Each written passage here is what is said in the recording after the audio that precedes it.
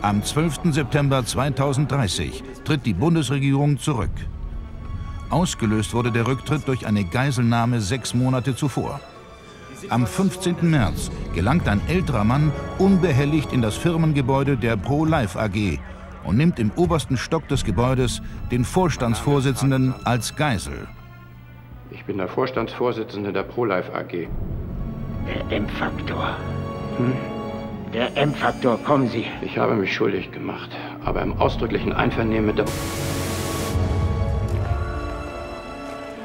Wie wir gerade mitbekommen, ist die Live-Übertragung der Geiselnahme aus irgendeinem Grund gerade unterbrochen. Wie es äh, aussieht, hat es gerade im Büro des Vorstandsvorsitzenden, dem Ort der Geiselnahme, eine Explosion gegeben.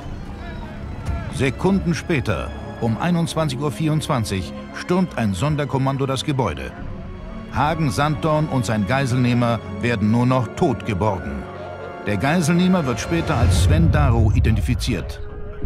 Sein Name bleibt lange Zeit das einzige Detail, das der Öffentlichkeit preisgegeben wird. Damit beginnt für die Journalistin Lena Bach eine Recherche auf den Spuren des vermeintlichen Attentäters. Eine Reise durch die Bundesrepublik des Jahres 2030. Einer Zeit, in der die Forschung dem wohlhabenden Bürger zu besserer medizinischer Versorgung und damit einem immer längeren Leben verhilft.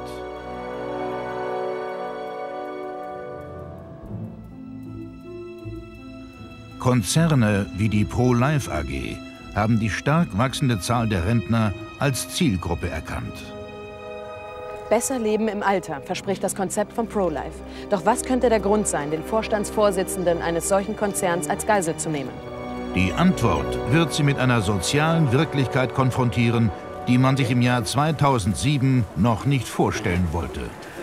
So habe ich mir das wirklich nicht vorgestellt. Wie meinen Sie das? Ja, das mit der Einheitsrente.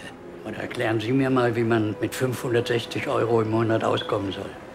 Wenn du Miete und Krankenkasse bezahlt hast, kannst du dir doch nur noch das Wasser aus dem Hahn leisten. Eine Wirklichkeit, in der alte Menschen zu Verbrechern werden. Irgendwann ging es meiner Frau immer schlechter.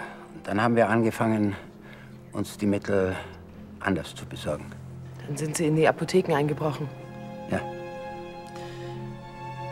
Nach meiner Inhaftierung musste meine Frau die Mittel wieder auf dem Schwarzmarkt besorgen. Die billigen Plagiate. Daran ist sie dann schließlich gestorben.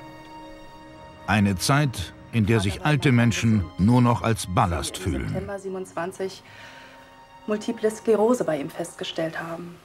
Bei einer Selbstbeteiligung von 50 Prozent wären also 140.000 Euro in den nächsten Jahren auf uns zugekommen.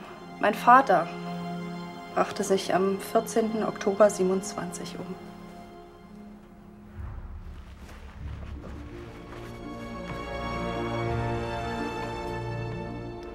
Immer tiefer wird die Journalistin durch ihre Entdeckungen in eine Geschichte hineingezogen, die eine Regierung am Rande der Handlungsunfähigkeit zeigt. Sie folgt der Spur bis nach Afrika und gerät in eine Verschwörung. Komm!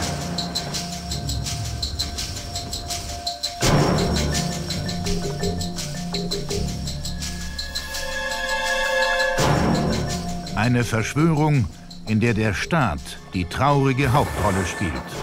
Gott, das sind Särge. Hi, my name is Lena Bach. This is an emergency call.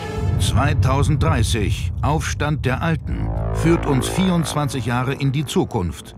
Eine Zeit, in der der Anteil der Alten so rapide angestiegen ist, dass viele Rentner ums Überleben kämpfen.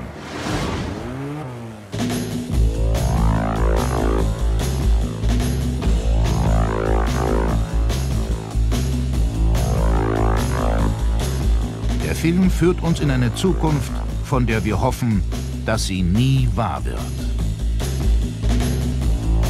2030 Aufstand der Alten.